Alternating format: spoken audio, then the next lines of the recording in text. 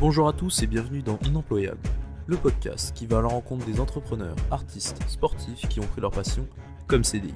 Tu peux, dès demain trouver quelqu'un, euh, une entreprise que tu vas aider euh, grâce à une plateforme freelance, tu vois. Si tu as une idée de business, ou tu veux faire une plateforme qui va révolutionner je sais pas quel domaine, etc. Première étape, identifie vraiment le besoin en parlant à beaucoup de monde. Deuxième étape, commence à offrir la solution à ce problème-là avec une, euh, une, solution un peu à la main. Toi, que quelqu'un, tu aides quelqu'un en le, coachant, tu aides euh, une entreprise en le faisant pour elle. Mais euh, ça, c'est vraiment la, première étape. Et tu peux, tu peux développer ton produit révolutionnaire, etc. après. Mais si tu sais aussi comment le faire, de type de service, etc., tu vas pouvoir aller beaucoup plus loin dans les besoins profonds de, la personne. Et donc, ce que tu vas construire après, ce sera beaucoup plus pertinent que, que ce que tu aurais fait. Aujourd'hui, je reçois Ambroise Desbré, qui a tout quitté pour devenir freelance et nomade digital. Il va nous raconter son histoire, le quotidien d'un nomade, donner ses conseils pour gagner sa vie en ligne. Vous pouvez le retrouver sur son site et sa chaîne YouTube, Ambroise Desbré, où il partage ses astuces de freelance nomade. Et sur ce, je vous laisse avec cette petite heure d'interview. Café, brioche. Bonjour Ambroise Desbré. Salut Benjamin. Alors, premièrement, est-ce que ça va? Bah écoute, ça va très bien. Il est 13h à Montréal. Il fait encore 0 degré et il pleut, mais à part ça, ça va. Bah ici, à, à Lille, plus spécialement Villeneuve d'Ascq, il fait très très beau, bizarrement, que pendant le confinement, mais bon. Aujourd'hui, je suis content de, de t'avoir parce que ça fait un moment que je cherche quelqu'un qui est nomade digital et qui pourra nous en parler, en faire part à l'audience. Et du coup, je te laisse un peu te présenter. Quelles sont tes activités actuelles? Parfait. Bah écoute, moi, euh, je suis freelance entrepreneur web qui est nomade. Donc ça fait depuis trois ans que je passe trois, quatre mois par an en voyage, en continuant à travailler sur mes activités. Donc mes activités principales, comme je disais, donc je suis freelance en marketing digital. Je donne aussi des, des, formations sur comment devenir freelance nomade digital. Je suis aussi prof de marketing à HEC Montréal. Et j'ai une startup dans la course à pied qui s'appelle Make It Run. Ok, ok, donc là, tu as quand même pas mal d'activités. Euh, tu as quel âge? Est-ce que tu as fait des études? Et si oui, lesquelles? Et est-ce que tu as eu des expériences professionnelles avant l'entrepreneuriat? Ouais, alors moi, en fait, j'ai euh, 27 ans aujourd'hui. Et euh, quand j'avais fini mon lycée en France, donc passé mon bac, etc., j'ai décidé de partir étudier ici à HEC Montréal. Donc faire un bachelor en administration des affaires, comme ils appellent ça ici. Euh, parce que je, je suis né à l'étranger et j'ai euh, j'ai eu l'occasion de pas mal côtoyer des gens qui étaient expats euh, quand j'étais en France, etc. Et j'avais vraiment envie de retrouver cette partie euh, voyage, expat. Donc j'ai décidé de partir étudier ici parce que euh, le système était vraiment différent du système français qui est très, euh, très, très cadré, très cloisonné, très, euh, très bon enfant. Ouais, en gros, c'était ça. Soit je restais en France et je faisais une prépa, soit euh, j'ai trouvé une porte de sortie euh, ailleurs. Et donc, c'est ça que j'ai fait. J'ai trouvé donc euh, HEC où j'ai été pris, qui est une école qui est du niveau, euh, du niveau EMU en France, donc une très bonne école de très bon niveau et reconnue. Et donc, c'est comme ça que je suis arrivé ici euh, à Montréal. Donc, j'ai commencé par faire ce, euh, ce bachelor, qui est le diplôme de base en Amérique du Nord. Et après, j'ai enchaîné avec un master en e-commerce, toujours à HEC aussi. Et donc, pour la suite de ta question par rapport aux expériences professionnelles, j'ai tout de suite commencé en fait ici. Au Canada, en Amérique du Nord en général, c'est beaucoup plus entrepreneurial, tu vois, dans la façon de faire les choses. Tout le monde est euh, auto-entrepreneur de base. Donc, ça ouvre pas mal de portes. Donc, j'ai pu commencer directement à tester pas mal de petits projets pendant mes études. J'ai organisé beaucoup d'événements étudiants, jusqu'à 200, 250 personnes qui, participaient. C'est comme ça un peu que je suis entré dans le, marketing digital aussi, parce que je devais remplir mes événements, remplir les sièges de mes événements. Et puis, j'ai monté des petits projets de start-up, une start-up dans, dans le monde de l'éducation, une agence aussi. J'ai euh, commencé petit à petit aussi mon, mon blog dont on, va, dont on va parler un petit peu. Et j'ai commencé aussi à prendre quelques missions de freelance pendant que j'étais étudiant. Donc des, des missions de freelance en marketing. J'étais vraiment, vraiment débutant dans des startups. Et je pense que si, si je calculais mon premier, mon premier taux horaire en tant que freelance, euh, on, serait assez bas, tu vois. J'ai commencé, je pense que je devais être à deux trois dollars de l'heure, tu vois, si je, si répartis ça sur le temps que j'y ai passé. Et euh, voilà. Et puis donc, j'ai fini mes études. toujours en voyageant quand même pas mal. pendant mes études aussi, les étés, j'ai fait un échange en Argentine, etc. Et puis après mes études, j'ai un prof, en fait, mon prof de marketing digital qui m'a fait une offre d'embauche. Donc j'ai travaillé pendant un an et demi chez les Pages Jaunes au Canada. Donc j'étais à la fois chef de produit, product owner pour les applications mobiles, certaines applications mobiles des pages jaunes, et je m'occupais aussi du marketing en tant que growth hacker. Puis après, c'est, on va en parler un petit peu, j'imagine, mais c'est, c'est à ce moment-là que j'ai décidé de faire le switch complètement pour devenir entrepreneur indépendant il y a trois ans. Donc de base, tu étais quand même quelqu'un qui lançait beaucoup de projets. Je vois, tu as, quand même cité pas mal de choses, des startups, des projets étudiants, etc. Du coup, tu avais directement cette fibre entrepreneuriale, tu l'as acquis pendant tes études ou tu l'avais peut-être avant? Alors ça, c'est une question que je me pose pas mal en ce moment. C'est, je, je suis pas, je suis pas l'entrepreneur du type qui a la chat, qui a toujours eu plein d'idées, etc. Mais en fait, j'ai toujours eu envie de lancer des projets et comme je suis quelqu'un de manière de, très organisé, j'arrivais bien à gérer les petits projets et à les pousser plus loin que la plupart des gens qui lancent des petits projets, tu vois. Il y a des gens, ils lancent des projets, au bout d'un mois, ça les, ça les saoule, ils arrêtent. Moi, j'arrivais quand même à faire le suivi de, ces projets-là et les pousser jusqu'au bout, même si ça marchait pas, tu vois.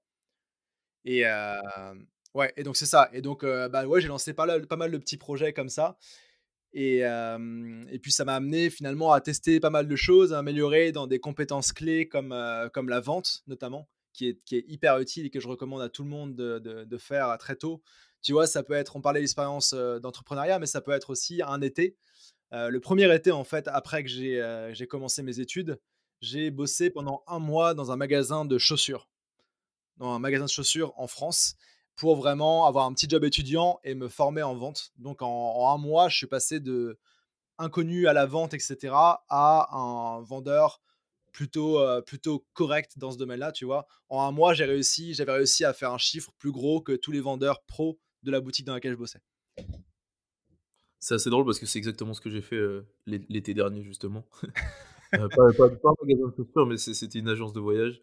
Donc, euh, marché hautement concurrentiel. Le voyage qui n'est pas, qui pas en très grande forme en ce moment. On, parle au, 10 avril. Confinement oblige, pas très grande forme, je pense, pour eux. Mais sinon, ça s'est très bien passé de mon côté aussi. Je pense que ça m'a appris pas mal de choses au niveau de la vente. qualité essentielle. Ensuite, du coup, tu as, lancé tous ces projets, toutes ces choses-là. Tu rentres dans un CDI, c'est ça? Je rentre dans un CDI, ouais. Exact. Ouais. Et, euh, et qu'est-ce qui te pousse à, le quitter, justement, ce, ce CDI C'est quoi le déclic qui, qui, où tu te dis, euh, eh ben, je vais devenir nomade, je vais me lancer, quoi? Alors, à, la base, je rentre dans ce CDI, mais il faut garder en tête que j'avais quand même d'autres projets à côté que j'ai continué. Euh, de, un, de un, j'avais mon blog de marketing digital en anglais que j'avais commencé à écrire toutes les semaines. Donc, j'avais ça. Et, Depuis, euh Excuse-moi, je te coupe. On est, on est où en termes d'années euh? Tu l'as créé quand on, est début 2015. Ok. Ok. Donc, le marché n'est pas totalement saturé, mais pas loin. Pour, en, anglais, je pense que c'était pas mal. Il y avait pas mal de concurrence à ce niveau-là, non? Euh, bah, dans, ce que dans ce sur quoi j'écrivais, le growth hacking, il n'y avait pas tant de choses que ça, tu vois. C'était c'est un truc un peu qui était assez nouveau à l'époque, donc donc non, j'avais pas mal de, pas mal de succès dans, cette partie-là. Donc j'avais ce projet de blog euh, qui était à la fois pour m'entraîner à écrire en anglais, à créer du contenu et à gérer un, site web. Et d'un autre côté, j'avais aussi continué, euh, j'avais commencé aussi fin 2014 à co-organiser des événements de e-commerce à Montréal. À Montréal, il y a une série d'événements qui s'appelle Montréal plus e-commerce. Et c'est le plus gros meet-up mensuel de e-commerce. Et j'avais l'occasion de le rejoindre en travaillant dans une startup qui, qui l'organisait. Et donc, j'ai continué ce projet-là pendant mon boulot, tu vois. D'ailleurs, j'ai arrêté, j'ai arrêté ça juste très récemment, après cinq ans d'organisation. Et donc, j'avais mon job qui était super cool. Honnêtement, c'est le job de rêve pour toute personne comme moi qui, qui avait un peu l'esprit entrepreneurial, qui, qui aimait la technologie, le marketing, le développement, etc. Donc, donc, je me suis retrouvé très vite en fait à, gérer en fait une, équipe d'une dizaine de développeurs, designers, etc. pour créer des applications mobiles et ensuite les faire grossir. Donc ça, c'était excellent. Mais petit à petit, tu vois, tout se passait bien. Ils allaient me, donner une promotion. j'étais en ligne pour avoir une très bonne carrière dans ce domaine-là. Et le truc, c'est que bah, tous les soirs, j'étais sur mes projets, tu vois. Les soirs et les week-ends, je bossais sur mes projets, etc. Et il est arrivé un moment où, tu vois, ça me ça ça ça me ça m'embêtait d'être bloqué, tu vois, dans mon boulot. Je voulais avancer plus vite que les autres, j'avais plus d'énergie, j'avais plus de de de hargne, d'ambition et il y a un moment, en fait, où je me suis dit: «OK, c'est plus, c'est plus possible, il faut que je il faut que je me consacre à mes projets personnels. Au moins que je le tente, que je quitte le boulot que j'ai et que je le tente à fond et heu, au pire, si jamais ça marche pas, je pourrais toujours revenir à cette carrière-là que j'ai déjà commencé», tu vois? Et donc à partir de ce moment-là, tout s'est organisé un petit peu dans mes dans mes projets. J'avais j'avais parlé avec mes 2 meilleurs amis de, heu, de monter, heu, de monter justement un projet entrepreneurial. Moi, j'étais plutôt côté, heu, marketing, vente.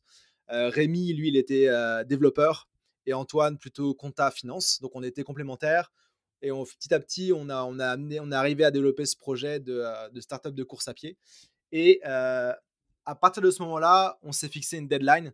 Eux, ils avaient réussi à obtenir leur visa pour venir au Canada, hem, en août 2017 et donc moi, ce que j'ai fait, c'est que à cette époque-là aussi, j'avais commencé les petits des projets et cetera, mais il y avait vraiment un truc qui me trottait en tête, c'était de tester le, le nomadisme digital. Aller partir loin et travailler sur mes projets, donc mon blog, mes événements, ma startup, depuis mon ordinateur et depuis l'autre bout du monde. Donc, ce que j'ai fait à cette époque-là, en fait, c'est que je savais que mes amis arrivaient en août à Montréal. Je me suis dit, heu, OK, j'aimerais bien partir, me prendre 3-4 mois pour voyager et tester ce nomadisme digital, voir si ça me plaît et si ça vaut le coup. Et donc, je me suis organisé, tu vois? J'ai quitté mon job, heu, fin mars 2017 et c'était une période c'était super compliqué, tu vois? De se dire: «OK, je suis bien dans mon job, je vais quitter pour, heu, partir faire ça, me lancer à l'aventure sans aucune, heu, sans aucune garantie». J'avais fait un peu d'économie et cetera et la première étape, ça a été de me dire: «OK, je pars, je book une date de billet d'avion. Je book un billet d'avion aller simple». Donc je pense que c'était, heu, le 24 mars 2017, enfin je pense, j'en suis sûr, parce que c'est une date clé de de ma vie et je me suis dit: «Il faut que je book ça parce qu'il va falloir que j'ai un courage monstrueux pour réussir à dire à mes boss avec qui je m'entendais super bien et avec qui, sais, qui qui avec qui tout se passait super bien, de leur dire: «OK, heu, je pars». Et dès le moment où j'ai booké ce billet d'avion, j'ai pu, bah, organiser de démissionner 2 semaines avant. C'est c'est comme ça que ça se passe au Canada et heu, m'organiser pour, heu, pour gérer tout ça, quoi et sous-louer sous-louer ma chambre, prendre des assurances voyage, heu, gérer mes finances et cetera et cetera. OK, OK et tu t'es, heu, tu quand même trouvé un un accord avec avec tes boss à ce moment-là pour, heu: «Ouais, si ça marche pas, je peux revenir»? Ou pas du tout, tu y allais, heu, vraiment, bah, on prend un vrai risque, quoi? Non, moi, j'y suis vraiment allé en mode, c'est fini. Tu vois? Eux me disaient, eux me disaient: «OK, tu peux tu peux on comprend, on sait que tu es entrepreneur dans l'âme comme nous et cetera. Tu peux prendre quelques quelques mois pour y penser et on verra». Moi, je savais que j'avais mon projet de start-up et que mes amis arrivaient, tu vois? Ils déménageaient de France et de Norvège au Canada, donc c'était vraiment non, genre c'était une coupure, heu, une coupure nette. Mais ce qui est important de ce qui est important de noter, c'est que je, hem, c'est que je suis pas, tu vois, j'ai pas tout quitté et après j'ai commencé mes autres projets. Mes autres projets de blog, de startup avaient déjà commencé à ce moment-là, tu vois? Je vois beaucoup de gens qui se disent, heu: «Mon job me saoule, heu, je démissionne et puis je vais voir après, ça va me motiver». Moi, je suis plutôt de l'approche de, heu, de commencer petit à petit ces projets sur lesquels on veut vraiment, heu, bosser et s'assu assurer un peu ses arrières, tu vois? Je savais que je pouvais j'avais déjà fait pas mal de missions de freelance, je savais que je pouvais vivre mon freelance si j'en avais besoin. Donc heu, donc c'est ça les les points clés de cette période-là à retenir pour les gens qui nous écoutent. Et du coup, tu avais déjà un revenu à ce moment-là de tes différents blogs ou autres freelance, qui te permettait de dire: «Ouais, même si je quitte mon job, au Canada, en tout cas pour le moment, on reste au Canada, je peux quand même vivre avec le strict minimum, même en mangeant des nouilles, au Canada». Bah, en fait, j'avais, heu, mon job était assez bien payé, donc j'avais pu économiser pas mal. Tu vois? J'avais bien géré tout cet aspect, heu, finances personnelles, donc j'avais de quoi, heu, tenir, allez, 2 heu, 2 ans, tu vois? Avec le rythme de vie que j'avais. Donc donc ça, c'était déjà un bon, un bon truc qui me rassurait. Ensuite, j'avais déjà fait du freelance, je savais comment ça marchait pour faire des factures, trouver des clients et cetera et mon blog, donc dont je te parlais, c'est un blog où j'écris des articles sur le marketing digital. Donc le growth hacking, donc concrètement, comment identifier des leviers de croissance, comment grossir un compte Twitter et cetera et cetera. Donc de base, l'audience que j'attirais avec ce blog-là, c'était des gens qui étaient, dans le domaine ou alors qui voulaient apprendre des choses, tu vois, sur ces sujets-là. Et donc j'avais déjà à l'époque des gens qui me contactaient pour que je les aide à faire ce dont je parlais dans les articles de blog. Par exemple, j'ai écrit un article de blog en 2017 sur comment grossir son compte Twitter. Sujet, sujet basique. En 2017, c'était, heu, il y avait pas pas beaucoup, beaucoup de contenu par rapport à ça et heu, j'ai des gens qui m'ont contacté par via cet article-là et avec qui j'ai commencé à travailler pour grossir leur compte Twitter et tu vois, juste cet article-là que j'ai écrit en 2017, si j'ai fait le calcul récemment, il m'a rapporté plus de 20 000 de, heu, mandat de consulting. Ouais, OK. Donc Donc en fait, ta stratégie d'acquisition, en termes en termes de freelancing, pour l'instant, c'est vraiment ta création de contenu sur ce côté, heu, marketing digital ou tu as d'autres, canaux d'acquisition? Alors, ça ça ça a toujours été principalement, ma stratégie de contenu. Donc je parle de créer, c'était des articles de blog que je faisais à la base. Les partager ensuite à mon réseau parce que j'avais construit aussi un réseau assez fort avec mes événements que j'organisais tous les mois depuis quelques années. Et et puis aussi vraiment travailler tout cet aspect, personal branding, tu vois? Créer une marque autour de ton nom, s'assurer que tu es reconnu pour ton expertise et donc ça ça voulait dire aussi de mon côté, bah, bon, tout le côté branding, créer son site, son logo, avoir une image pro, que tout ton réseau sache exactement ce que tu fais, tu vois? Il faut que tu deviennes le, la personne référence dans ton domaine pour ton réseau. Et heu et voilà et puis donc ça passait aussi par d'autres choses, donc heu, par, heu, être speaker à des événements, par être, mentionné dans certains articles de presse, tu vois, par rapport à ce que je faisais. Donc, sais, c'est quelque chose qui se construit vraiment un actif que tu que tu tu te dis: «OK, à un moment, je veux créer une marque personnelle. Je sais que c'est important pour moi» et petit à petit, tu tu fais des efforts pour l'alimenter et la faire grossir. Et ça, c'est un truc qui est super, super utile quand tu es freelance parce que c'est ce qui te permet d'être plus en plus crédible dans ton domaine, tu vois? De devenir vraiment un expert aux yeux de des gens et donc à terme aussi, donc d'être de plus demandé, mais aussi de pouvoir augmenter ton ton tarif horaire, heu, petit à petit. Et pour te donner un peu, heu, pour donner un peu une idée, donc je te disais que mon premier er mon premier con contrat freelance, c'était dans une start-up. Donc, j'avais fait le calcul, j'étais à peu près à 2-3 de l'heure, tu vois? Si je si si je fais le calcul de ce que j'ét j'étais payé par rapport aux heures que j'ai fait, heu, sur quelques mois et heu, maintenant, il y a des contrats pour lesquels je facture jusqu'à 125 de l'heure. OK, ouais, donc on est on est sur, une amélioration de voilà, exact. Donc ouais, forcément et tout ça en en combien de temps cette, ce changement, cette amélioration? Heu, bah, écoute, en à peu près, en à peu près 4 ans. OK, OK, donc c'est vraiment quelque chose que tu construis, pas entre guillemets «sur le long terme», mais un peu, parce que dans le milieu du web, le tout change très vite, du coup, c'est quand même assez long et heu, Mmh ouais et puis il y a pas de secret, je pense. Exact, c'est vraiment, quelque chose que tu fais petit à petit. J'ai commencé donc à 2-3 de l'heure. Après, quelques mois après, j'ai réussi à trouver un contrat à 20 de l'heure et petit à petit, tu tu continues à t'améliorer, tu continues à t'améliorer, à devenir un expert et à trouver aussi savoir quel type de clients sont intéressants pour toi, ont le budget et sont prêts à payer, tu vois? Moi, je veux pas actuellement, je veux pas si si un une startup vient me voir, qu'elle a presque pas de budget ou qu'elle m'offre des parts et cetera, c'est pas le genre de contrat que je veux, tu vois?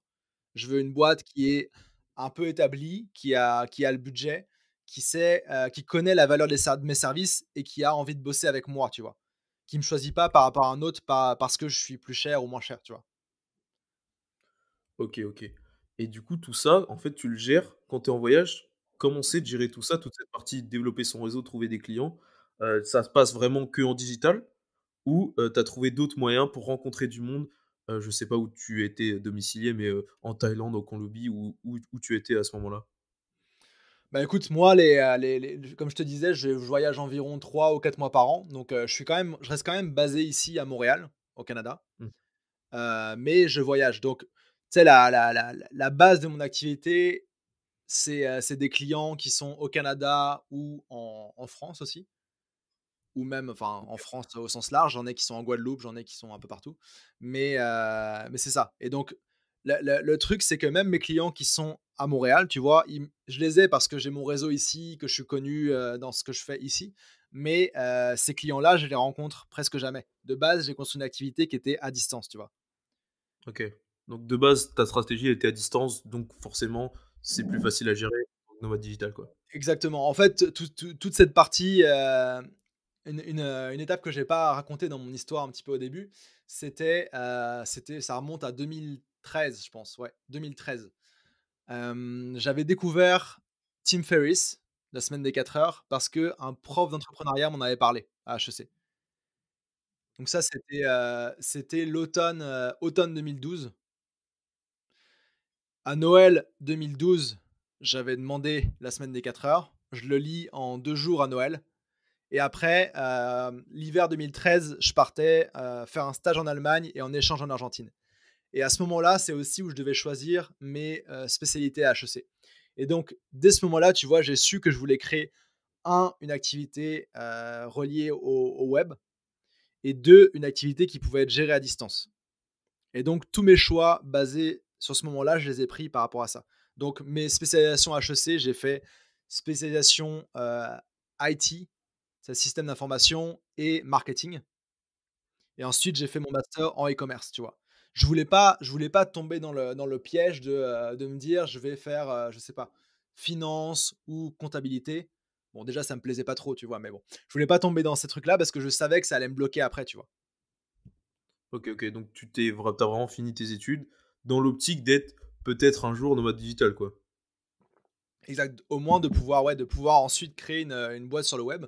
Alors j'avais aucune idée si ce serait une start-up, si ce serait d'être, heu, freelance, si ce serait d'avoir tout simplement un un job à distance, mais je savais que je voulais que ce soit dans le marketing et dans le web. OK, OK et heu, si on switch sur la partie voyage, est-ce que toi heu, tu as choisi enfin, tu avais un un pays en particulier où tu voulais aller? Ou tu as vraiment choisi ton pays, heu, en fonction de, heu, du revenu minimal au début? Ou en fonction de juste qu'est-ce que tu peux construire dans dans ce pays-là? Est-ce qu'il y a des clients pour toi? Du coup, là, non, mais, est-ce que comment tu as choisi ton pays au début, en fait? Mon pays pour, pour partir en mode nomade, tu veux dire? Pour partir, le le le day one, le premier jour. Bah, écoute, en fait, j'ai j'ai regardé aussi par rapport à ce que j'avais déjà fait comme voyage. J'avais déjà passé 6 mois en Amérique du Sud. Mmh mh. J'habitais, j'habitais j déjà depuis, heu, 7 ans au Canada, donc en Amérique du Nord. J'avais fait pas mal le le tour. Il me reste encore des voir des trucs à voir, mais j'avais fait le tour. L'Europe, je connais bien, je suis français. Habité en Allemagne, en Angleterre et heu, je regardais les desti les les destinations, tu vois, nomades, du moment et en 2017, c'était vraiment Asie du Sud-Est, tu vois? Et c'était j'avais déjà été en Chine en échange quand j'avais 15 ans, mais j'avais des souvenirs un peu, un peu flous de ce cette époque-là et je voulais vraiment partir là-bas, tu vois? J'avais des amis qui avaient été en échange à Taïwan, à Singapour et cetera, qui m'en avaient dit vraiment beaucoup de bien, tu vois? Et ce que j'ai fait, c'est que j'ai vraiment choisi une destination de base, tu vois? J'ai dit: «OK, je veux partir en Asie du Sud-Est, c'est là que je vais commencer, je sais pas où je finirai», tu vois? Je partais pour 4 mois et donc j'ai pris mon billet simple pour Bangkok parce que c'était tout simplement le le, le trajet le moins cher depuis Montréal. Parce que c'est quand même un c'est quand même un sacré trajet depuis Montréal, hein, c'est 24 heures de de voyage. 24 heures avec avec Ouais, donc c'est environ, heu, environ 10, heu, 10-12 heures pour arriver, pour arriver dans le coin, moi j'avais fait un Montréal-Turquie, tu vois? Et après pareil pour arriver en Thaïlande. OK, OK, donc ouais, c'est l'autre bout du monde, clairement, Ah, c'est clairement l'autre bout du monde et franchement le le le choc était assez assez violent. Déjà 24 heures de voyage, 2 avions, comme ça. De 2, je suis parti, je suis parti, ouais, en fin fin mars, il faisait -30 à Montréal. J'arrive à Bangkok, il fait +30, donc 60° de différence et en plus de tout ça, 12 heures de décalage horaire. Donc donc c'était assez, heu, assez extrême, tu vois? Et hem et ouais, j'avais vraiment envie de découvrir cette, heu, cette partie, cette partie du monde-là et de découvrir aussi cette, ce ce concept d'être nomade digital. Donc pour, pour répondre un peu à ta question un peu plus loin, quand je suis arrivé là-bas, je m'étais booké un un Airbnb, tu vois? Après, je m'étais pris un un coworking et je m'étais dit: «Bah, je vais je vais réussir à trouver l'équilibre entre bosser et et voyager». Et justement, moi moi, je pense que j'aurais du mal personnellement à à trouver cet équilibre-là. Est-ce que tu as mis en place des process, une structure, une une routine, tu vois? Pour te Mmh dire: «Ouais, à ce moment-là, je peux taffer, à ce moment-là, je peux me reposer, à cet endroit-là, je peux taffer», donc le coworking, «à cet endroit-là, je me repose». Parce que vraiment, moi, en ces périodes de confinement, tu vois, j'ai quand même pas mal de mal à me dire, heu, surtout vu la taille de ma chambre, à me dire, heu: «Ici je taffe et ici je me repose» parce que c'est le même endroit. C'est le même endroit, c'est le même temps, tout se confond, même plus si on est jeudi, vendredi, tu vois? Ouais. Donc heu, toi, comment tu t'es organisé à ce niveau-là? Bah, à l'époque, heu, à l'époque, pas, tu vois? Très mal. Parce que, heu, je voulais à la fois tester ce mode nomade digital, mais si on se remet dans le contexte, tu sais, je quittais mon job, je l'avais eu pendant un an et demi. au Canada, on a assez peu de vacances, on a deux ou trois semaines de vacances par an quand tu travailles. Et donc, je voulais aussi, tu vois, déconnecter un peu. Donc, le, mon erreur que j'ai faite en fait à ce moment-là, c'était de me dire, je vais pouvoir à la fois tester le mode nomade digital, de travailler depuis, depuis l'étranger, etc., d'un pays que je connais pas, en même temps pouvoir être un peu en vacances, et en même temps pouvoir visiter tout ce qu'il y a à voir, tu vois. Et donc au début, c'était vraiment compliqué de, de, gérer tout ça. Et donc ce que, je, ce que j'ai fait, c'est au début, j'ai voulu vraiment travailler, réussir à maintenir mes trucs, etc. La seule chose que j'ai réussi à faire pendant tout mon voyage, c'était de continuer à écrire un article de blog par semaine. J'avais ça comme, truc à faire, c'était clair, etc. Le reste, la startup, etc., je l'ai, je l'ai fait au fur et à mesure, petit à petit. Mais, tu sais, j'ai commencé d'abord par, par visiter un petit peu la Thaïlande. J'avais des amis qui étaient dans le coin aussi, donc c'était pas forcément évident. Mais je m'étais dit, ok, je me laisse, je me laisse deux, trois semaines pour, pour visiter la Thaïlande, faire la fête. J'avais, été, j'avais mes amis, j'avais été à la, à la Full Moon Party, j'avais été un peu dans les îles, etc. Et quand j'arrive à Chiang Mai, qui est un peu la mecque des nomades digitaux, là, je me pose et là, je bosse à fond pendant deux semaines jusqu'à ce que je reparte un petit peu. voilà. Donc, honnêtement, essayer de, de travailler avec un bon rythme, plus visiter, faire des activités, plus réfléchir à concrètement où est-ce que tu vas après, booker tes billets d'avion, de train, de bus, réfléchir aux activités que tu vas faire, c'est pas soutenable, tu vois. Et au bout de quelques semaines, j'étais, j'étais vraiment crevé à la limite d'un, genre de burn-out. Tu vois, pas un burn-out parce que tu bosses trop, mais un burn-out de tous ces trucs-là à gérer en même temps, tu vois. Beaucoup de choses à penser, ouais.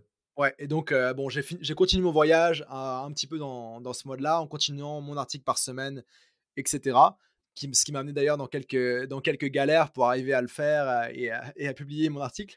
Mais on va en parler un petit peu après si tu veux. Mais euh, j'ai découvert aussi un gros apprentissage, c'était que pour être nomade et pouvoir à la fois profiter de l'endroit où tu es et euh, travailler efficacement, le secret, c'est de, faire ce qu'on appelle du slow travel. Donc de rester au moins quelques semaines, voire quelques mois au même endroit. Comme ça, tu peux avoir une routine de boulot, de vie saine et visiter les endroits où tu es le midi, le soir, les week-ends. Du coup, dans, dans cette période, tu as fait quoi comme, comme pays? Tu as vu quoi comme, comme paysage alors, bah, j'ai commencé, je vais te le faire rapidement parce que j'ai fait beaucoup de choses. j'ai commencé par, donc, par arriver à, Bangkok, je suis resté à peu près une semaine là-bas. Ensuite, je suis allé dans, dans les îles thaïlandaises. Donc, je voulais absolument passer mon, mon diplôme de plongée. Donc, j'ai passé du temps à Koh Tao, Koh Phangan, qui est la ville, l'île où il y a la full moon, euh, Koh Samui, j'ai été sur la côte ouest, à Krabi, etc. Et après, je suis allé à Chiang Mai dans le nord de la Thaïlande. Donc ça, c'est pour la partie Thaïlande. Après, j'ai visité aussi le, euh, une partie du Myanmar, la Birmanie.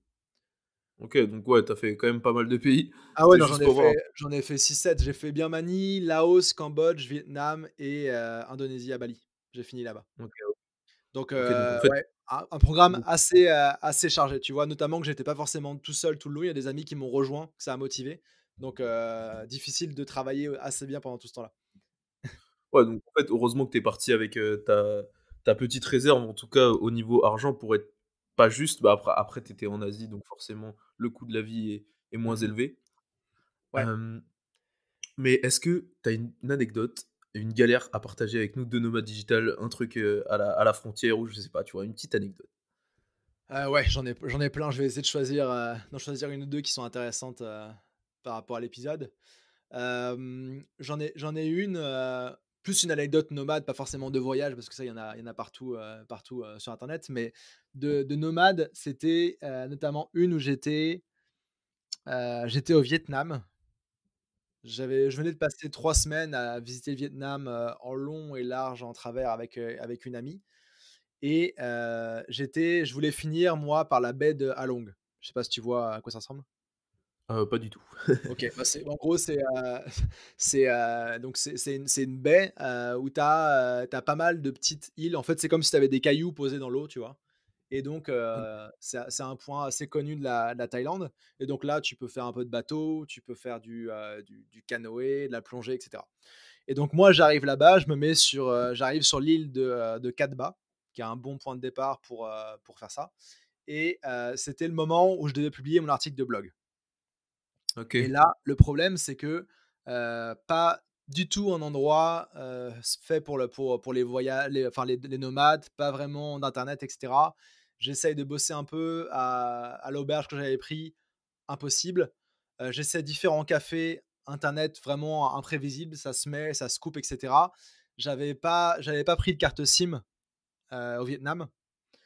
Donc, heu, faire avec mon téléphone, c'était impossible et donc le seul endroit, en fait, où j'ai trouvé internet qui était OK, c'était un genre de, un genre de bar-boîte, tu vois? Donc donc je m'installe je je m'installe là-bas, c'était en bar, calme, en début de soirée et cetera. Je voulais vraiment le publier, mon blog, tu sais, j'avais un programme, précis. J'avais ma newsletter qui partait et tout ça et donc je m'impose là-bas et au bout d'une demi heure, le l'endroit se transforme en boire en en bar, pardon, avec des, avec des néons, boules disco et tout ça, la musique qui se lance à fond et moi, je sais qu'il me reste une heure pour écrire mon article de blog et que j'ai fait un pacte avec moi-même, avec les gens qui me suivaient, et cetera, que je publiais mon blog toutes les semaines, ce jour-là, à cette heure-là. Donc j'ai, j'ai mis mes écouteurs avec la musique à fond, tu vois? Et j'ai fini mon blog, tu vois? Ça, c'est une une anecdote sympa de de des galères que tu peux avoir en voyage. Ça répond ça répond à ta question. J'en ai d'autres aussi si tu veux. Ah c'est très bien là, c'est vraiment pas mal et tu as pas trop galéré à écrire ce cet article de blog? Il était comment vraiment en termes de qualité là? Franchement, il était pas mal, hein. Franchement, il était pas mal parce que j'avais déjà écrit une vingtaine, trentaine d'articles à l'époque, donc j'avais quand même un peu de un peu de bouteille là-dedans et heu, donc tu sais, c'est une des galères que je te raconte, mais heu, j'avais aussi dû notamment écrire un article de blog de dans un bus, dans une route en en en bout, tu vois, au Laos, parce que je voulais aussi publier et que Ouais. le internet, c'était compliqué. Donc heu, je voilà, je recommande pas forcément ces conditions de travail-là à tout le monde, mais heu, voilà un peu les histoires marrantes. Ça fait partie aussi des expériences que que je pense tu as envie de vivre en fait quand tu pars en en tant que nomade digital. Mmh mh. Heu, en tout cas, moi, c'est la la vision dont je me fais, heu, du nomadisme digital en général. Quand je vois d'ailleurs le le podcast qui qui reste quand même la la le podcast de Stanislas Leloup et et Paul, qui s'appelle Nomade Digital, qui reste quand même, Mmh je trouve, la de tout le mouvement en France. Pour moi, c'est ça la référence, tu vois? Je sais pas, bah, il y a il y y a ta chaîne maintenant, mais je sais pas comment toi tu vois la chose, mais heu, mais je trouve quand même que beaucoup de gens se basent là-dessus, tu vois? Ouais, ouais, non, c'est sûr. Heu, c'est sûr que c'est ça reste la référence, heu, en termes de podcast sur le sur le sujet. C'était c'est marrant parce que c'était à peu près à l'époque où j'ai commencé à, à voyager et cetera que ça que ça sortait et ouais, non, c'est clair. Ils ont ils ont fait ils ont tenu longtemps avec ce podcast-là jusqu'à ce qu'ils aient tous les 2 d'autres, priorités, entre Stan et Paul, mais ils ont posé les vraiment les bases de OK, comment est-ce qu'on peut franciser un petit peu, ce qui existe comme mouvement et ce qui se dit comme chose sur d'autres podcasts américains et autres, tu vois? C'est vraiment c'est vraiment genre OK, on est français, on est expat, on habite à l'étranger, un peu un peu un un mode journaliste exploratoire de qu'est-ce qui se passe dans ce monde-là? C'est quoi les nomades digitaux? Comment en devenir un? Comment tu penses quand tu es nomade digital? Et il y a beaucoup d'inspiration dans ce podcast-là de, heu, de Tim Ferriss dont j'ai déjà parlé, aussi d'in d'influence d'un autre podcast podcast, heu, qui est incontournable dans ce monde-là, qui s'appelle, heu, Tropical MBA, dont Stan parle, Ouais. heu, parle pas mal aussi et ouais, non, c'est clair qu'ils ont, ils ont influencé une génération de, de nomades par rapport à ça. Je me demandais, justement, on parlait du du podcast Nomade Digital.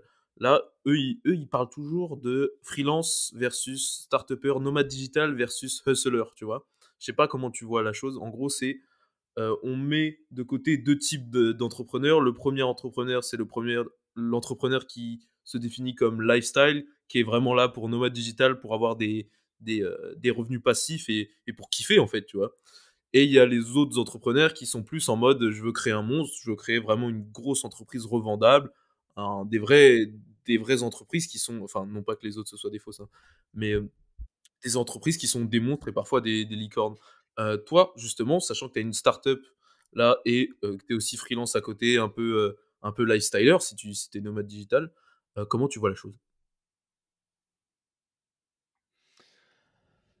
Alors, je sais que c'est quelque chose avec lequel Stan a eu pas mal de d'interrogations de son côté, tu vois? Il avait un business qui commençait à tourner et heu, en fait, il pouvait il était arrivé à un stade où il pouvait faire un peu ce qu'il voulait, tu vois? Donc c'était OK, est-ce que, heu, est-ce qu'il allait pousser le projet pour en créer vraiment quelque chose? Dans ce cas-là, il fallait qu'il embauche d'autres personnes, ce qu'il a fait finalement.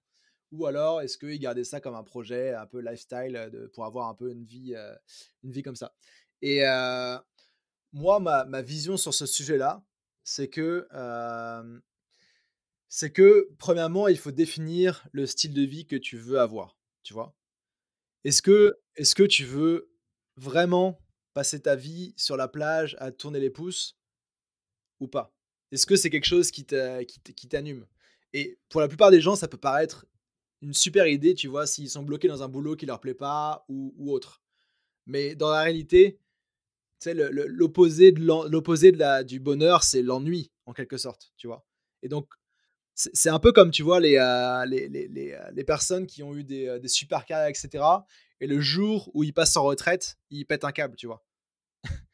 Donc tu t'arrêtes pas du jour au lendemain de faire quelque chose. Tu vas pas bosser à fond sur un business pour après, après chiller. Pour moi, c'est pas pas possible c'est un mensonge qui se propage un petit peu dans ce monde de business passif, de, d'affiliés, dropshipping et cetera. Les personnes qui y sont arrivées, elles sont pas arrivées là en se disant: «OK, je vais créer un truc et après je vais chiller». Elles sont arrivées là parce que c'était quelque chose qui leur plaisait, qu'elles ont continué à apprendre le chemin et l'entrepreneuriat, c'est, c'est un petit peu un c'est addictif et c'est un petit peu un jeu, tu vois? Dès que tu arrives à un niveau, tu tu tu te dis pas genre: «OK, c'est fini, je prends ma retraite», tu vois? Tu tu te dis plutôt: «OK, c'est quoi quoi le next step? Qu'est-ce que je peux faire pour améliorer ce résultat-là?» et hem, c'est vraiment comme ça que je le vois, tu vois?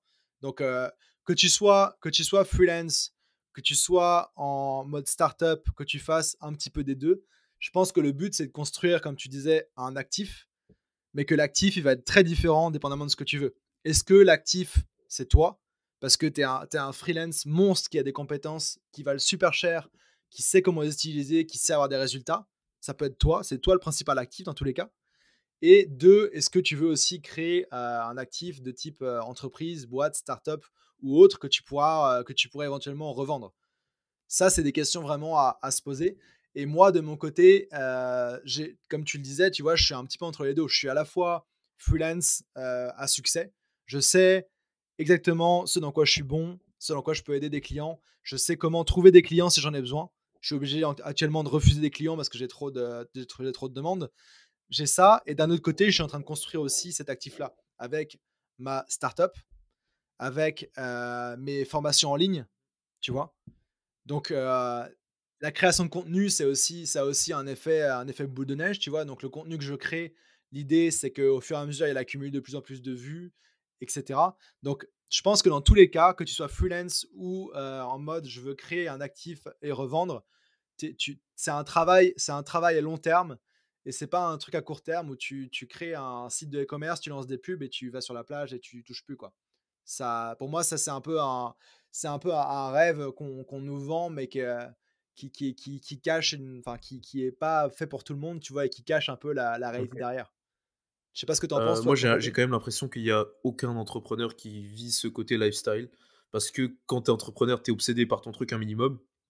Donc forcément, tu es toujours en à en à avoir envie de de t'améliorer, de de de d'accrocher le nest le next step comme tu l'as dit. Du coup, heu, j'ai l'impression, ouais, vraiment qu'il a aucun entrepreneur, en tout cas avec qui j'ai parlé, ou même moi dans ma Mais mentalité qui, qui veut avoir un smart passive income et après, se dire: «Bon, bah, c'est bon, on peut chill». C'est c'est enfin Ouais. Bah, après, après il y a la définition aussi de de de lifestyle, tu vois? Tu dis entrepreneur lifestyle. En soi, pour moi, tu dois, tu tu le but, c'est quand même d'arriver aussi à créer un un business, une activité qui supporte ton style de vie idéal et c'est tout le monde n'est pas fait ou pas n'a pas envie d'être nomade, tu vois? Il y en a, ils sont très bien pépères, chez eux, dans leur, maison, avec leurs trucs qu'ils connaissent et cetera. C'est fine, il y a pas de problème, tu vois? C'est comment tu définis ton lifestyle idéal? Et pour moi, c'est de mon côté, tu vois, j'y ai beaucoup réfléchi je suis vraiment là-dedans. C'est, d'habiter là où on me traite le mieux, tu vois? Là où je suis bien et là où je veux, tu vois?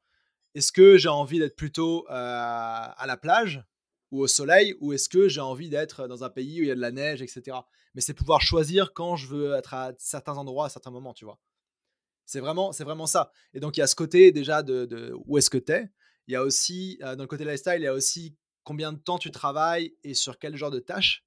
Est-ce que tu veux continuer à être un one man show et faire à la fois de la compta, du marketing, de la rédaction, de du community management et cetera? Ou est-ce que tu veux, déléguer certaines parties de ce que de ce que tu fais pour justement te focus juste sur l'essentiel et et y passer peut-être moins de temps au final, mais du temps beaucoup plus efficace, beaucoup plus productif, tu vois? Et ça, je pense que c'est un stade aussi où on arrive tous à un moment. Et moi, j'y suis là, j'ai, je, je, commence à déléguer certaines choses où tu te dis la, meilleure stratégie pour moi, c'est pas de tout faire. Je suis pas, suis pas monteur vidéo, je suis pas, je suis pas expert d'animation de communauté sociale, etc. Moi, la chose dans laquelle je suis, je suis le meilleur, c'est d'avoir une vision pour un, pour un projet, d'être une, une machine d'exécution, de s'assurer que tout se passe, d'organiser tout ça, etc. Et, et d'organiser tout ça. Après, je, je, veux pas, je suis pas, je veux pas devenir monteur vidéo, tu vois je suis pas ou je veux pas devenir comptable, tu vois. Donc, arriver un moment à faire la, séparation entre tout ça. Et au final, le, but ultime pour moi du lifestyle entrepreneur qui, a un projet quand même ambitieux, c'est d'arriver à passer du temps d'impact sur des choses qui te font kiffer et qui, font avancer ton business, tu vois. Ouais, Et justement, dans, ce sens-là, est-ce que tu aurais une ressource, un livre, un podcast ou autre à conseiller qui t'a vraiment marqué, qui a vraiment généré chez toi, je sais pas, un déclic? Euh, par, par, rapport à quelle, à quelle partie euh, bah, en fait, Par rapport à tout, mais majoritairement par rapport à ce côté euh, entrepreneuriat, organisation, pour vraiment exécuter les choses en mode machine. Quoi.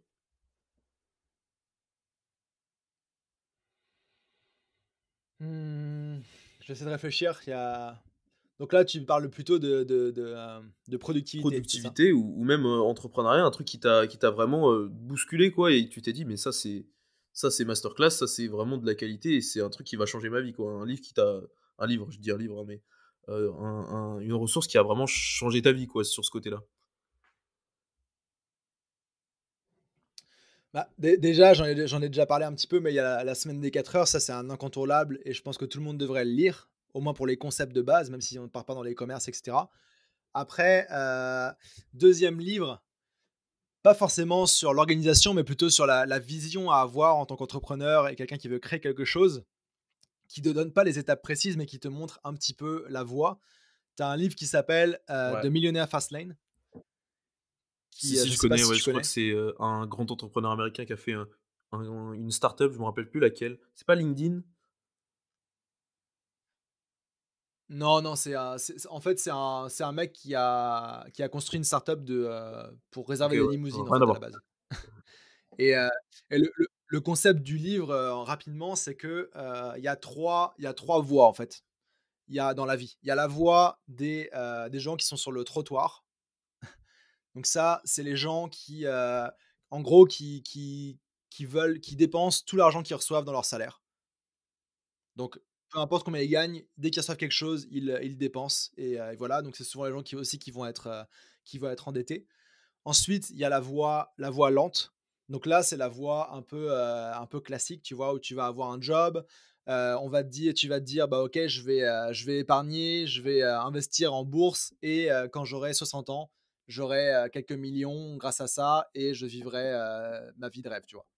Donc un peu retarder tout ça. Et tu as la fast lane. Donc la fast lane, typiquement, c'est la, la, la, voie des entrepreneurs qui choisissent de prendre leur destin en main et de, passer de consommateur à créateur. Voilà. Et donc là, l'idée, c'est que tu prends contrôle sur ce qui se passe et que tu vas générer tes revenus toi-même rapidement, tu vois. Et il te donne aussi des critères pour choisir des bons modèles d'affaires par rapport à ça. Donc je sais plus exactement tous les critères, mais il y a un critère de est-ce que ça peut, est-ce que ça, est-ce que ça peut scaler, est-ce que ça peut se déléguer, etc., etc. Mais ça donne vraiment des critères pour pour ça.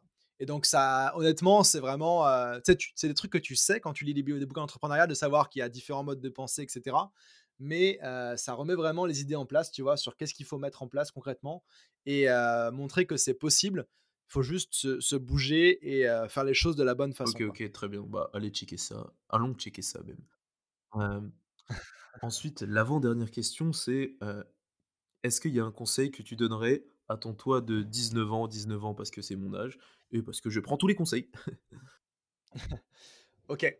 Alors, un conseil que, que je me donnerais, même plusieurs, c'est de parfois prendre le temps de se poser et de réfléchir vraiment aux, euh, aux choses que tu vas faire plutôt que d'aller euh, vite dans, l'action. ça peut permettre d'aller plus vite au final, tu vois. Ça peut permettre d'éviter de faire des, choses que tu n'as pas besoin de faire, de faire des choses que, euh, qui sont pas nécessaires, tu vois. Et au final, parfois, prendre le temps d'aller lentement et de réfléchir à une bonne stratégie, d'avoir un peu de la suite dans les idées, ça peut te faire gagner du temps. Deuxième. Euh, je, vais dire juste, ça, ça dépend vraiment des, des personnes, euh, entre guillemets, parce que moi, justement, je suis genre à prendre trop de temps pour réfléchir aux choses. J'ai bien toute la stratégie en place, et à la fin, je me dis, bon, j'ai des doutes sur le projet et tout, et à la fin, je le fais pas, tu vois. Et du coup, euh, je pense vraiment plus. Pour moi, en tout cas, le, conseil que je, que je donnerais, que je me donnerais à moi de maintenant, euh, c'est bah, fais. Fais, et au pire, après, on verra, quoi. Parce que sinon, vaut mieux faire que de faire, tu vois. Ça, ça dépend vraiment les gens. C'est sûr qu'il faut le faire. Moi, j'ai toujours été plutôt dans, plutôt dans, dans l'action, tu vois. Et donc, c'était vraiment prendre le temps de réfléchir, me poser des questions sur ce qui se passait derrière, tu vois, et, et, le, faire, le mmh. faire de la bonne façon, tu vois. Et il y a un truc, un exemple de ça, tu vois, il y a un truc, un, truc tout con. tout le monde reçoit des emails, tu vois, des emails de questions, de personnes qui veulent des conseils, etc. Dès que tu commences à faire quelque chose, il y a des gens qui vont qui vont t'écrire. et notamment en entreprise, tu vois, quand ces emails-là sont envoyés à plusieurs personnes à la fois, donc toi, d'autres personnes, etc., tu remarqueras que si tu laisses, si tu laisses quelques jours à ces urgences-là, elles vont se résoudre pour la plupart du temps elles-mêmes, tu vois. Les gens vont trouver une solution parce qu'ils en ont vraiment besoin. Les gens vont, euh, la, chose qu'on te demandait va devenir euh, inutile parce qu'en fait le, projet n'a pas lieu ou la, bref, les, les conditions ont changé. Et juste en faisant ça, tu vois, ça peut te permettre de, gagner pas mal de temps. autre, autre conseil à mon mois de 19 ans aussi. 19 ans, j'étais où? J'arrivais à. j'étais, j'étais, j'étais en fin de première année d'HEC. Et bah, je, je, dirais, je, me dirais de bien, de bien écouter ce dont, ce dont j'ai envie comme, comme voix. À 19 ans, J'arrivais en école de commerce, je savais pas trop encore ce que je voulais faire. J'étais un peu dans tous les sens, tu vois, j'étais à la fois dans à me renseigner sur la carrière de, de, finance, tu vois, un peu comme tout le monde, on force un petit peu tout le monde à faire en école de commerce. Euh, à comptabilité, tu vois, je me forçais à faire des trucs, à aller à des événements réseautés, des trucs comme ça, qui n'étaient pas forcément les bons événements ou les bons domaines pour moi. C'est vraiment écouter, euh, écouter au final qu'est-ce que qu'est-ce que tu as envie de faire, déterminer aussi quel, quel type de tâches sont importants pour toi, tu vois quel type de tâche tu es bon? Est-ce que tu es plutôt bon dans, euh, dans organiser les choses? Est-ce que tu es plutôt bon à euh, parler avec des personnes? Tu vois, quelle, quelle, activité te donne de l'énergie plutôt que celles qui vont t'en prendre? Essayer de se connaître un petit peu plus euh, rapidement, ça peut faire gagner bah, C'est aussi le, le, but de ce podcast, en fait. Je me suis dit, je vais aller voir des entrepreneurs de différents horizons. Et, et aussi, bah, je vais essayer de, de, tirer le maximum de leur expérience et trouver peut-être mon truc en passant, quoi. Mmh Justement parce que j'ai vu vraiment des, gens différents depuis le début. Là, ça fait 5 épisodes, ouais. J'ai vu des gens qui faisaient de l'import-export, j'ai vu des gens qui faisaient du poker, j'ai vu des gens qui, qui étaient youtubeurs la, la, semaine dernière. Et là, je te vois, toi, tu es freelance dans le growth marketing. Tout ça, c'est des domaines bien, bien différents. Et avec ça, en fait, j'ouvre les champs des possibles. Et, et, et je, je, rencontre de nouveaux genres. Et tout, le tout restant dans l'entrepreneuriat, quoi. Ouais, et puis, ouais, non, c'est clair, c'est excellent ce que tu dis. Et peut-être une chose que je rajouterais aussi par rapport à ça, c'est que je sais qu'il y a beaucoup, beaucoup de monde, en spécialement avec le, confinement, etc., qui, qui, ont toujours eu le projet de se lancer, de lancer une activité en ligne pour gagner de l'argent sur Internet. C'était mon cas, c'est ton cas, c'est le cas des gens qui nous écoutent, etc. Le moyen le plus rapide de le faire, peu importe ton, le projet, c'est d'arriver à, identifier un bon besoin et répondre à ce besoin d'abord sous forme de service, tu vois, en offrant tes services en tant que freelance, consultant, coach. C'est le moyen le plus rapide. Tu peux, tu peux dès demain trouver quelqu'un, euh, une entreprise que tu vas aider euh, grâce à une plateforme freelance, tu vois. Si tu as une idée de business ou tu veux faire une plateforme qui va révolutionner je sais pas quel domaine, etc., première étape, identifie vraiment le besoin en parlant à beaucoup de monde. Deuxième étape, commence à offrir la solution à ce problème-là avec une, euh, solution un peu à la main. Toi, que quelqu'un, tu aides quelqu'un en le, coachant, tu aides euh, une entreprise en le faisant pour elle. Mais euh, ça, c'est vraiment la, première étape. Et tu peux, tu peux développer ton produit révolutionnaire, etc. après. Mais si tu sais aussi comment le faire, de type de service, etc., tu vas pouvoir aller beaucoup plus loin dans les besoins profonds de, la personne. Et donc, ce que tu vas construire après, ce sera beaucoup plus pertinent que, que ce que tu aurais fait si tu avais foncé directement. C'est pour ça aussi que devenir freelance, c'est ce que je recommanderais comme première étape à toutes les personnes qui veulent se lancer dans, dans une entreprise, entreprise internet ou autre. Parce que ça t'apprend à comment trouver des clients, comment gérer des clients, comment gérer un peu la, comptabilité, etc. de façon assez facile. Et peu importe ce que tu fais, si tu montes une boîte, si tu as un job, etc., c'est quelque chose que tu peux continuer toujours en parallèle, quelques heures par semaine, ou alors à temps plein, ou alors comme bouée de secours, si tu te fais virer, ou ta startup ou ton site plante, tu peux toujours faire ça, et c'est un peu une, ligne de secours, tu vois. C'est un peu, un peu comme le, le, chômage d'entrepreneur, la solution de chômage d'entrepreneur, tu vois. Si demain tous mes trucs s'arrêtent, tous les trucs d'un entrepreneur s'arrêtent, il saura exactement quoi faire comme service pour, dès la semaine prochaine, tu vois, gagner de l'argent. Et ça, c'est un message que je voulais faire passer aussi qui est important parce qu'on parlait de business à revenu passif, etc. Première, étape, investissez du temps et des ressources et formez-vous dans un projet qui peut vous ramener de l'argent et vous apprendre beaucoup de choses à coup sûr, tu vois. Une, monter une boîte, c'est génial, tu vois, si ça marche mais les chances que ça fonctionne sont quand même assez minces. En freelance, tu vends ton temps. Donc, si tu vends pas de temps, tu, tu, tu perds pas de temps. Et si tu arrives à, vendre des services, bah, tu gagnes de l'argent directement. Quoi. Je sais pas si ça te parle, si ça te parle toi. en fait, ça, me parle parce que bah, moi, j'ai un peu commencé en faisant un peu tout. Tu vois, je, regarde les, vidéos et tout. J'ai fait un peu tout. J'ai fait des sites de dropshipping, etc. Et je me suis très vite rendu compte que la, la meilleure chose, en fait, le, truc dans lequel je suis sûr de gagner de l'argent, c'est, euh, là, en l'occurrence, c'était faire des sites pour les autres, tu vois.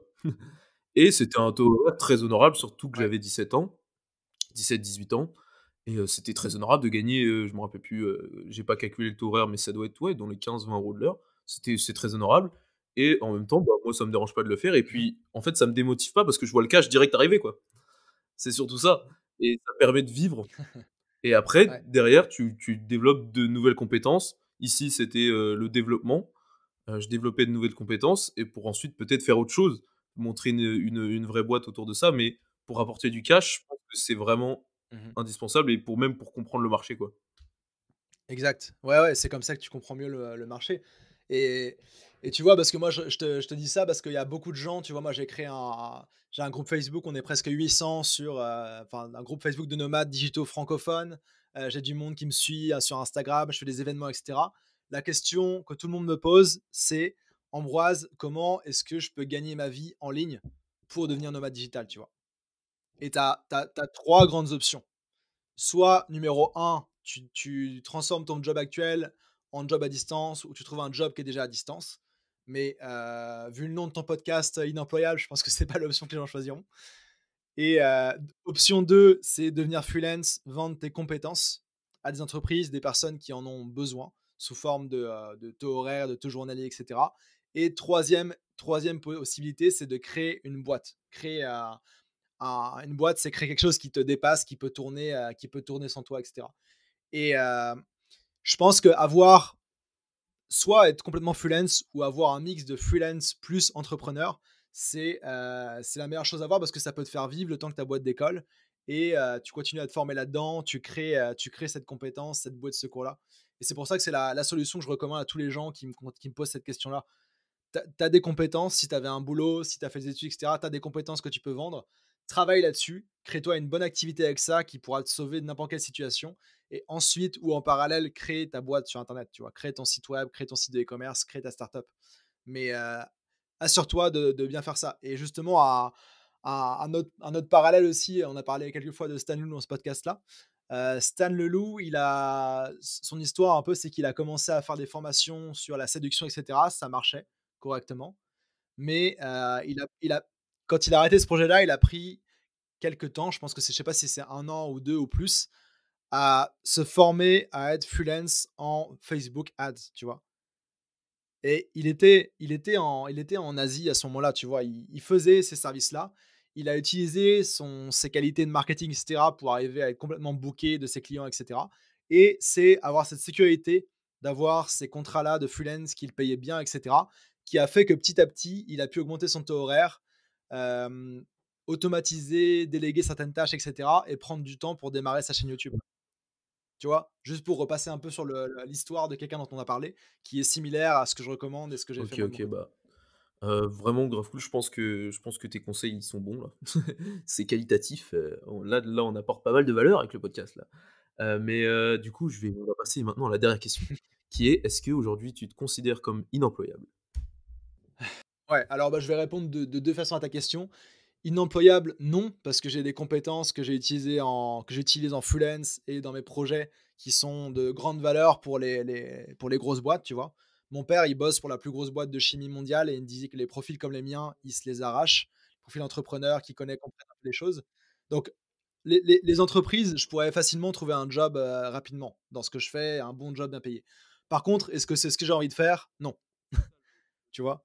Euh, Parce que j'ai j'ai goûté, j'ai goûté à cette, ce côté indépendance. Je connais les galères, je sais comment ça marche, mais je sais aussi que là, avec le freelance et les projets, je, je, je, je peux vivre bien de ce que je fais et sans stress, tu vois? Non. Voilà, bah en tout cas, merci beaucoup, Ambroise, d'être, venu sur le podcast. C'était très enrichissant. Bah écoute, ça me fait plaisir. Merci beaucoup pour l'invitation, Benjamin. Et où est-ce qu'on peut te retrouver, du coup? Alors, on peut me retrouver un peu partout sur le web, sur Instagram, euh, Facebook, etc. avec euh, mon prénom et mon nom, Ambroise Debray. C'est un prénom euh, assez original, donc je suis assez facile à trouver. Et, et, puis, si vous voulez aller plus loin sur ce qu'on a dit aujourd'hui par rapport à la partie devenir freelance, arriver à échanger ses compétences contre un, un salaire rapidement, j'ai mis en place une formation vidéo gratuite qui s'appelle les 8 plus 1 étape pour devenir freelance nomade que vous pouvez retrouver à ambroisedebray.com slash freelance. Donc peut-être euh, petite précision, Ambroise Debray, je vais l'appeler, ce sera plus facile, A-M-B-R-O-I-S-E-D-E-B-R-E-T.